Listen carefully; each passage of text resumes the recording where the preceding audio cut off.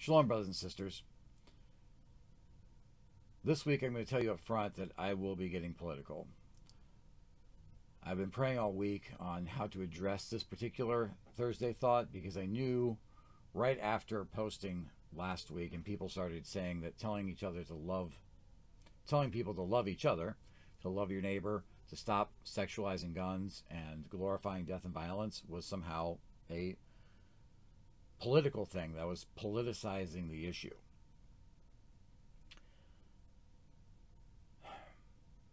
I'm going to tell you up front if you want to read about my politics, I, I, worked in DC for about a decade and I actually worked for a nonprofit that it was it was a uh, nonpartisan group and I wrote a number of articles about it. You can Google me to find them and, and read them and see what I believe politically. But I, I'm a moderate. I am a constitutionalist. I like to jokingly say that I'm a conservative socialist.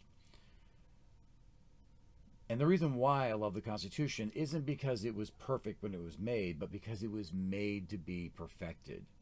George Washington said that they started it and leaving it to other people to finish what they started. They knew that what they made wasn't perfect. And we've been able to fix a number of things. Slavery is no longer, well, it's legal in some ways, but it's no longer legal overall. It's only illegal if you imprison someone. Uh, women can vote. So we, we have this way of growing line upon line, precept upon precept, and that's that's a wonderful thing that is encouraged and talked about in the scriptures. So obviously that's going to be a good thing.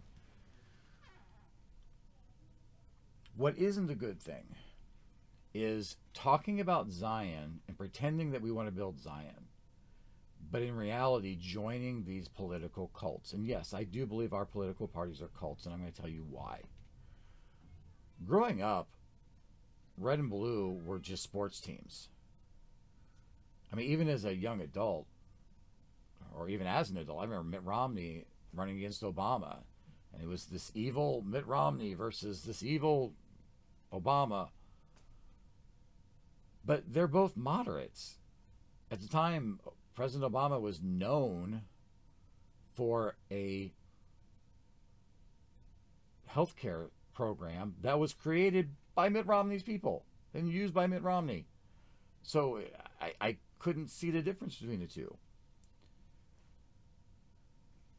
But yet people were, were villainizing these two people and, and yes, there were small differences, but to me, they were mostly irrelevant.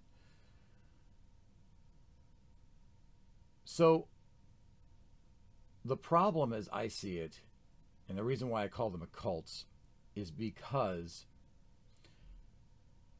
the the media and the political parties, I mean, they really do work together.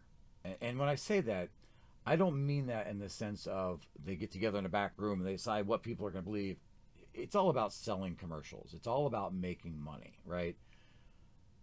When they put Fox News together, that was absolutely genius because there was no one catering specifically to conservatives. And so they cut all of that commercial real estate.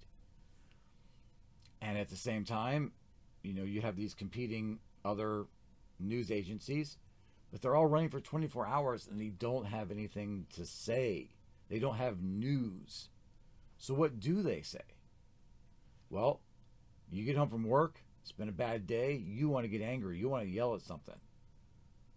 Turn on your TV, there's somebody yelling at something on the news. And it's it's not healthy. It's not good. It's dividing us. We have allowed the anger used to sell commercial space and used to get us out to vote to divide us to a point to where people literally gathered threatening to hang the vice president. I, I don't care what color your political agenda is. That's not loving your neighbor.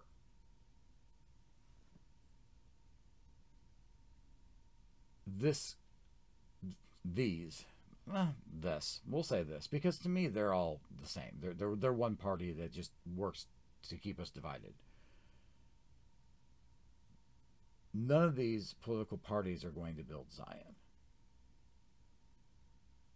because they exist to tear us apart. So next time you hear something or you read something and you think to yourself, they're politicizing this, you know, their agenda. Ask yourself, how? How are they politicizing it? Are they really politicizing it?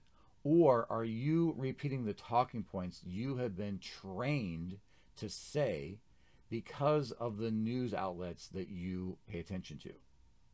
And to be clear, I am not talking about the red or the blue.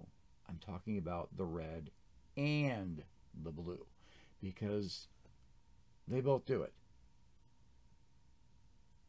When I was working in DC, I'll just tell you quickly a big goal towards the end of my my career there was to stop the Republicans from giving constitutional authority over trade to Democratic then President Barack Obama. The way we accomplished this was by getting the unions and the Tea Party to work hand in hand. They collaborate they, they, they worked together, they collaborated together to stop this from happening for two and a half years and they had to make all sorts of on the Democratic side threats and on the Republican side concessions.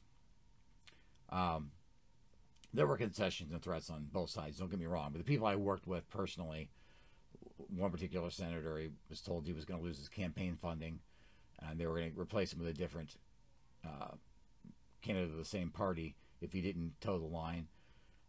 and there was a lot of concessions made on the on the other side to get people to, to, I'm sorry, yeah, to get to get votes from both parties to ensure that this Republican agenda could pass of giving the Democratic president power. So while we as Americans are fighting each other, arguing, hating, they are working together as one. Think about that. Why should we, as citizens, be fighting when they are using that against us? So, my message to you, my thought to you this week is get out of the cult. Get out of the cult of politics. Get out of the cult of hate. And love your neighbor. You want to change the world? Love is the only thing that's going to change it. You want to build Zion? Love is what's going to build it. I testify you in the name of Jesus Christ that no political party will build Zion.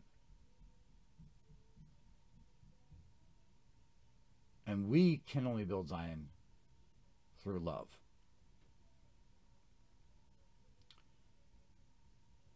That is my thought for you this Thursday, and I leave it with you in the name of Jesus Christ. Amen.